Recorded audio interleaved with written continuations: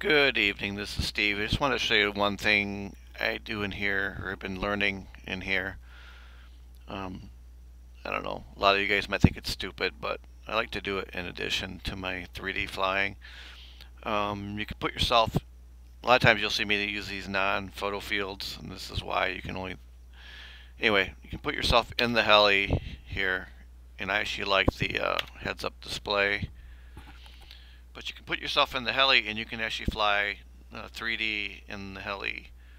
And I'll just show you a little bit about kind of like what I've been learning how to do.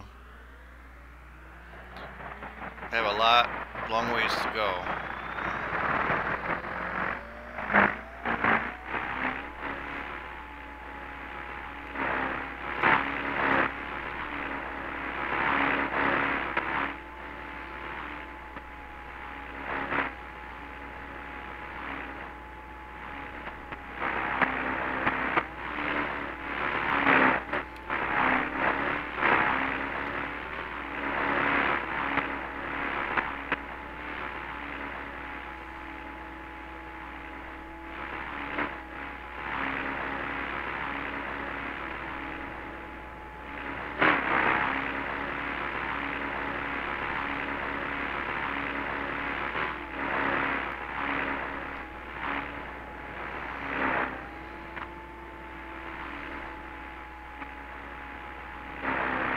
That was close.